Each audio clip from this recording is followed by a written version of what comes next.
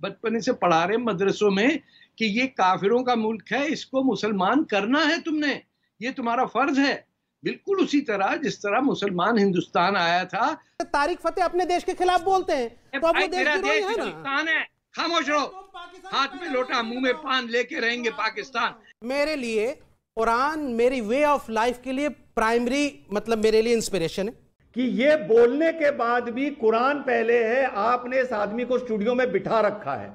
अगर मैं एंकर होता इसे जूते मार के भगाता यहाँ से पहली चीज़। मैंने कहा अगर मैं होता। ना तो कूट दिए जाओगे मैं बता दे रहा हूँ।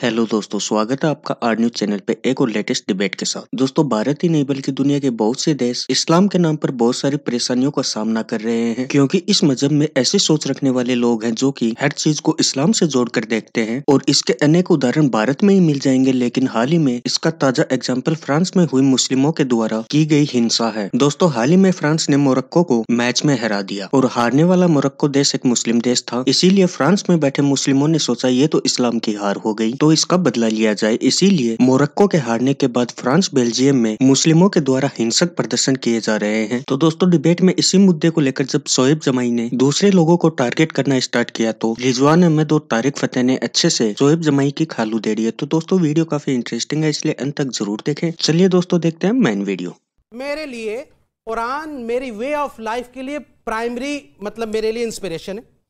और संविधान मेरे इस देश के अंदर मुझे किस कानून के तहत बंद के रहना चाहिए वो मेरे लिए प्राइमरी इंस्पिरेशन है। देश पहले या धर्म? नहीं नहीं बताओ मैं पूछ रहा हूँ देश धर्म पहले या देश? मेरे लिए देश भी एक साथ है और धर्म भी एक समान है। मेरे लिए दो आँखें हैं। ना हम एक आँख को फोड़ सकते हैं ना इस आँख को फोड़ सकते हैं मेरे साथ दोनों लिए। अब आप इन्होंने अपना देश जला दिया शोएब नहीं जलाया दोस्त। आप गलत एजेंडा परोस रहे हैं। आप शाहीन बाग में जाकर बैठे थे इन लोगों के लिए। ये लोग देश दूषित जला दिया और आप कह रहे थे इनको नागरिकता दे दे- दो। दूषित मानसिकता है आपकी। दूषित इन लोगों की क्योंकि मुसलमान है। इसलिए आप देख रहे हो। अरे दुनिया के कितने ऐसे देश है जहाँ की इमिग्रेंट जो है। पॉपुलेशन है वो लोकल पॉपुलेशन ये नॉर्मल है आपके हिसाब कल्चर क्लैश ठीक है मैं आपकी बात मानू। ये नॉर्मल है। ये नॉर्मल भारतीय नॉर्मल है। इंग्लैंड में जाके हो clash होता है। बस अब डॉक्टर रिजवान अहमद बोलेंगे। शोएब आपने बहुत देर बोला। कॉलोनियल पास्ट है। आपने बिल्कुल ठीक कहा। रिसर्च एक मिनट में आ रहा हूँ डॉक्टर रिजवान। आप बिल्कुल ठीक कह रहे हैं। शोएब कॉलोनियल पास्ट है. लेकिन शोएब वही बात है जो भारतीय इंग्लैंड में रह रहे हैं। अगर इंग्लैंड की हार हो अगर कोई भारतीय अपने देश को जला दे तो वो देशद्रोही है। इस फ़र्क को है समझिए। यहाँ जलाया। फायर क्रैकर ये जलाया। फायर क्रैकर चलिए ठीक है बस हो गया। अब डॉक्टर रिजवान अहमद पटाखे बोलेंगे चलिए पटाखे फुलझड़ियाँ हैं डॉक्टर रिजवान अहमद। आप लोग ऐसे दंगा दंगा कहते हैं। डॉक्टर रिजवान अहमद अब आप बोलेंगे सबका ऑडियो बंद रहेगा। डॉक्टर रिजवान अहमद सबका ऑडियो बंद पीसीआर। डॉक्टर रिजवान अहमद। हाँ। पटाखे फुलझड़ियाँ। हैं भाई। बड़ा अच्छा आराम से काउंटर दे दूँ। आराम से काउंटर दे दूँ आराम से काउंटर दे दूँ आराम से। करके। आराम से। हाँ हाँ। जब बात शुरू हुई तो मौलाना शोएब ने एकदम से इंग्लैंड में हिंदुस्तानियों की तुलना की कि वो भी इंडिया को जिताते हैं। अरे भाई किन दो चीज़ों को मिला रहे हो? इन अरबियों को भारतीयों से मिला रहे हो अरबी अफ्रीकनों को? 20 दे दुनिया की मल्टीनेशनल कंपनी में भारतीय मूल के Hindu H I N D U CEO बने हुए हैं। पहली चीज़। दूसरी चीज़, इंग्लैंड में जो भारतीय मूल के Hindu H I N D U छत्तीस बिलियन डॉलर का रेवेन्यू देते हैं सरकार को। एक लाख बयासी हज़ार लोगों को एम्प्लॉयमेंट देते हैं। और भारत, हिंदुस्तानी मूल के हिंदू एक बिलियन पाउंड का कॉर्पोरेट टैक्स देते हैं गवर्नमेंट को। तो इन अरबी अफ्रीकनों को भारतीयों से ना मिलाओ मौलाना साहब। अब मौलाना साहब ने कहा कि क्योंकि मोराकन मुस्लिम है इसलिए अमन चोपड़ा ये बात बोल रहा है। इसीलिए तो बोल रहा है रिजवान अहमद। वो मुस्लिम हैं। वो मुस्लिम हैं वो मुस्लिम हैं। ये बात तो तब साबित हो गई ना जब मोरक्को जीता था तो पूरा मुस्लिम मुल्क हिंदुस्तान के लोग पाकिस्तान का प्राइम मिनिस्टर इस्लाम और उम्मत की वाह वाह क्यों कर रहे थे? अगर सिर्फ़ खेल था अरे मौलाना चुप रहे चुप रहे मौलाना। अगर सिर्फ़ खेल था तो खेल की तरह देखते ना। मरैको में उम्मत कहाँ से आ गई? मरैको में इस्लाम कहाँ से आ गया? कहाँ से आ गया? और आखिरी बात ये बड़े ताज्जुब की बात है कोई वाकई आपकी मजबूरी हो सकती है एक गेस्ट की एक तमीज होती है अतिथि अतिथि देव भवा होता है कि ये बोलने के बाद भी कुरान पहले है आपने इस आदमी को स्टूडियो में बिठा रखा है। अगर मैं एंकर होता इसे जूते मार के भगाता यहाँ से पहली चीज़। दूसरी चीज़। ऐसे नहीं बस बस मेरे लिए। वो ये बदतमीजी बदतमीजी नहीं। ऑडियो बंद है पीसीआर अब ये गाली गलौज पे आप उतर आएँगे दिखा दिया आपने अपने संस्कार एक दिखा दिया ना आपने नहीं नहीं नहीं हाँ, बिल्कुल सही कह रहा हूँ। टांग भी ऑडियो बंद है पीसीआर मैंने कहा अगर मैं होता। बातें किए ना तो कूट दिए जाओगे मैं बता दे रहा हूँ। हाँ, फालतू की बातें नहीं। गाली गलौज मत करिए भाई। टांग भी बेटा यहाँ से चला जाएगा तुम्हारा अभी एक टांग में लंगड़े आपके पास ऑडियो बंद। ऑडियो बंद है भाई दोनों का। तारिक फतेह साहब बस ऑडियो बंद। बस हो गया। लेकिन तारिक फतेह साहब मेरे को ये जानना है जिस देश में रह रहे हैं वो उस देश के ना हुए। ये आपने कहीं देखा है कि मुसलमान जो है वो किसी देश में जाके बसा हो और उसका लॉयल हो?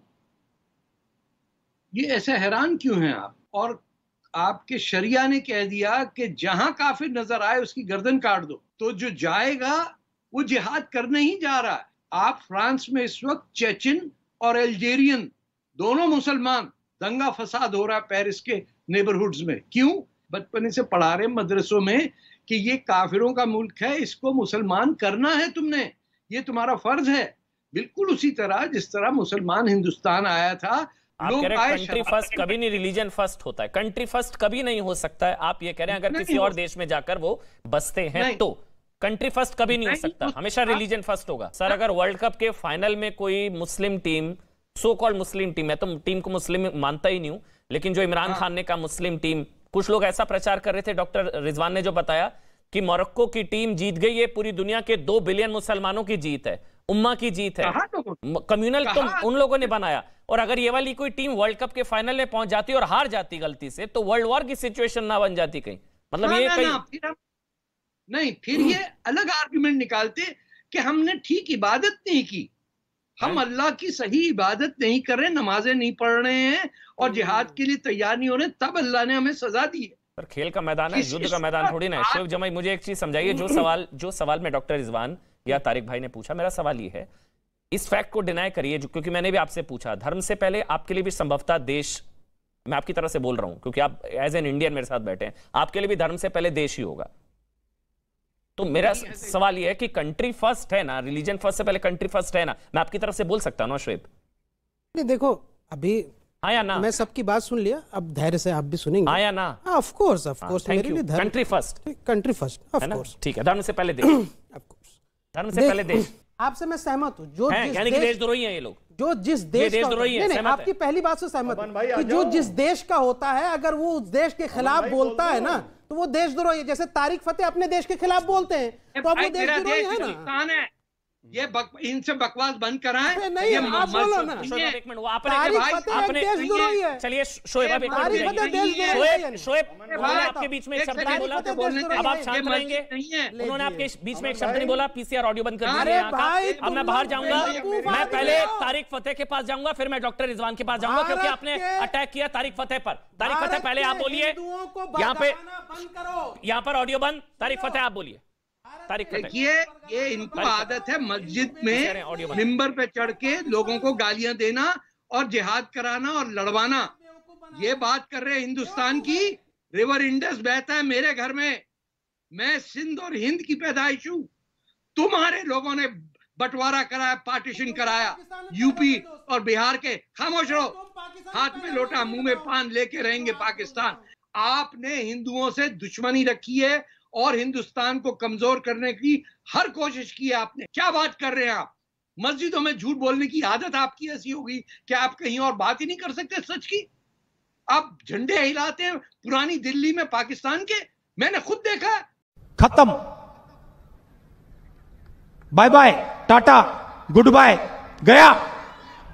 दोस्तों, फ्रांस ने एक बार फिर से इस्लाम को हरा दिया और ये बात मैं नहीं कर रहा बल्कि फ्रांस और मोरक्को के बीच हुए फुटबॉल मैच के बाद फ्रांस के जीतने पर फ्रांस में हिंसक प्रदर्शन हुए जो कि मुस्लिमों के द्वारा किए गए, जिसमें एक चौदह साल के बच्चे की जान भी चली गई। दोस्तों, आपको बता दूँ, मोरक्को में मुस्लिम लोग रहते हैं और जैसे ही इन लोगों ने फुटबॉल के मैच जीतने स्टार्ट किए तो इस्लाम के ठेकेदार तुरंत अपने बिलों से बाहर आ गए और कहने लगे की ये मोरक्को की जीत नहीं बल्कि मुस्लिम टीम की जीत है और ऐसे ही बहुत से कमेंटों से पूरा सोशल मीडिया भर गया। और दोस्तों, ऐसी बयानबाजी करने में पाकिस्तान के पूर्व प्रधानमंत्री भी शामिल हैं जिन्होंने ये कहा कि ये मुस्लिम्स की जीत है। लेकिन जब फ्रांस ने मोरक्को को हराया तो ऐसी विकट सोच रखने वाले लोग जो कि ये कहते हैं कि इस्लाम जीत रहा है, उनके ये बात सहन नहीं हो पाई और फ्रांस में फिर हिंसक प्रदर्शन किए गए। दोस्तों, अब ये बात कहाँ तक जाए कि हर चीज़ को आप मज़हब से जोड़ कर देखें और मज़हब के नाम पर ऐसी टिप्पणियाँ करें जिससे आने वाले समय में हालात खराब हो। और शायद दोस्तों, ऐसी सोच रखने वाला ये सोएब जमाई है, इसीलिए इसने डिबेट में ये कहा कि वो सब मासूम लोग हैं और वो केवल पटाखे छोड़ रहे थे। और इस मुद्दे को एक धार्मिक एंगल दिया जा रहा है। दोस्तों, पूरी डिबेट में सोएब जमाई ने एक बार भी ये नहीं कहा कि फ्रांस में हुई ये घटना बहुत ही निंदनीय है और इसके लिए वो लोग जिम्मेदार हैं जिन्होंने इस्लाम को हर चीज़ में घुसेड़ दिया। और दोस्तों, जब सोएब जमाई जैसे लोगों के पास बोलने के लिए कुछ भी नहीं बचता और वो पूरी तरह से एक्सपोज होना स्टार्ट हो जाते हैं तो मुद्दे को भटकाने की कोशिश की जाती है और यही सब सोएब जमाई ने डिबेट में किया। तो दोस्तों डिबेट के बारे में आपकी क्या राय है? कमेंट बॉक्स में ज़रूर बताएँ और डिबेट पसंद आई तो चैनल को सब्सक्राइब करें, साथ में बेल आइकन को प्रेस करें ताकि हमारे आने वाले वीडियोस का नोटिफिकेशन आपको तुरंत प्रभाव से मिल जाए। मिलते हैं अगले वीडियो में। जय हिंद, राम राम।